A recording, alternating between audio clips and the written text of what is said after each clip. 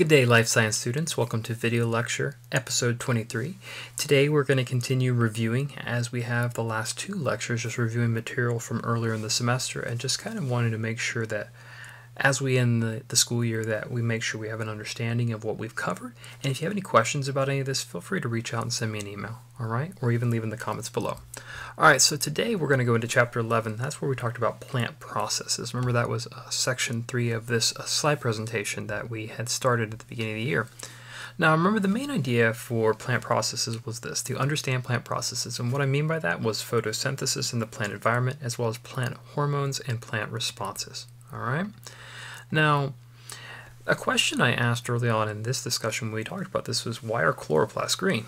Well, chloroplasts are organelles that carry out photosynthesis, and chlorophyll is a pigment found in chloroplasts.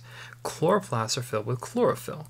Now, when light strikes a green leaf, much of the visible light is absorbed, but light from the green part of the spectrum is reflected. Okay? So, this is just kind of explaining why we see it as that. And remember, I showed some images visualizing how this occurs. In fact, keep this in mind. Sun gives off visible white light. Now that white light is actually, when you look at it through a prism, is a mixture of other colors. And as I told you, you can remember Roy G. Biv for this. Red, orange, yellow, green, blue, indigo, and violet.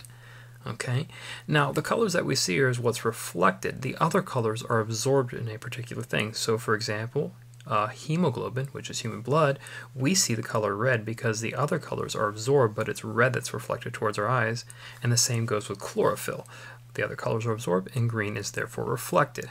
Now let's talk about what photosynthesis is. Okay, photosynthesis, remember, was the process during which a plant's chlorophyll traps light energy and sugars are produced. Now the equation for that would be CO2 plus H2O, so that's carbon dioxide plus water, an input of the sun's energy to the chlorophyll produces C6H12O6 sugars plus O2 oxygen. All right. Now, on the slides, I had also remember showed some graphic representation, so you can see that I also broke down and showed you what a chlorophyll looks like. And remember, the chlorophyll had two membranes. It had the outer membrane and the inner membrane, and inside those we had this fluid called stroma, and what was inside the fluids were these stacks of little discs, and those stacks of discs were called thylakoids. Okay, just kind of remind you on here.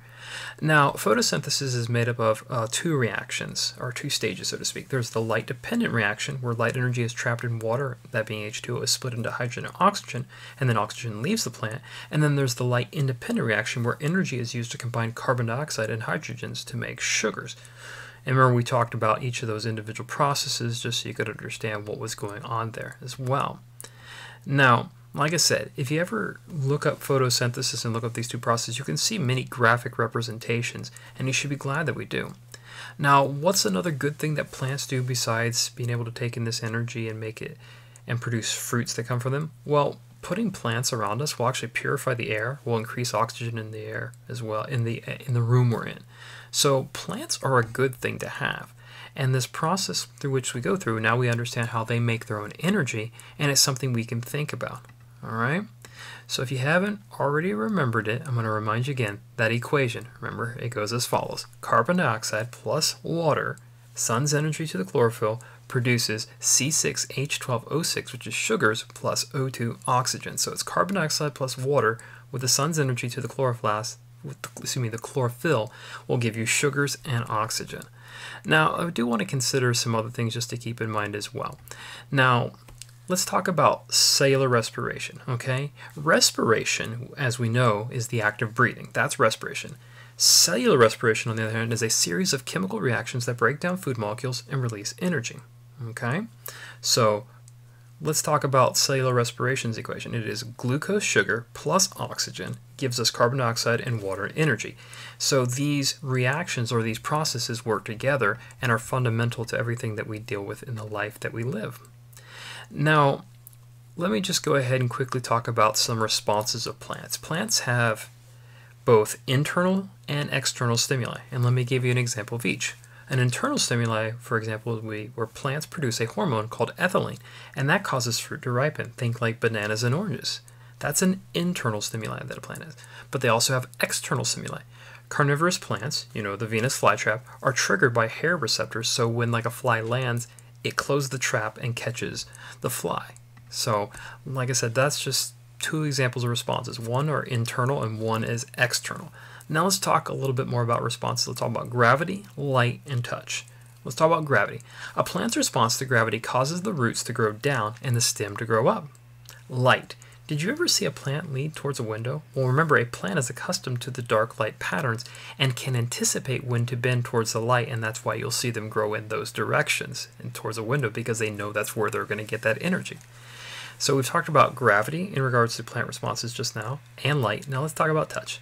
Now, aside from the Venus flytrap, when a pea plant touches a solid object, it responds by growing faster on the side of the stem, on that side of the stem. So where it's touched, it grows faster. As a result, the stem will bend and twist around an object.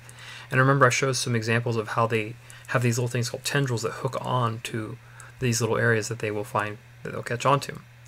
Now, one thing to keep in mind, which is pretty cool, especially if you like flowers and plants, the art and science of growing flowers is actually pretty amazing. Commercial florists must time flowering seasons and plan a year in advance for their supply. Pretty crazy to think about. You know what I mean? Alright, well that ends our discussion as far as reviewing this section on plant processes. If you have any questions, you can leave them in the comments below. Reach out to me. Have a nice day. I do hope this has been helpful. Take care. Goodbye.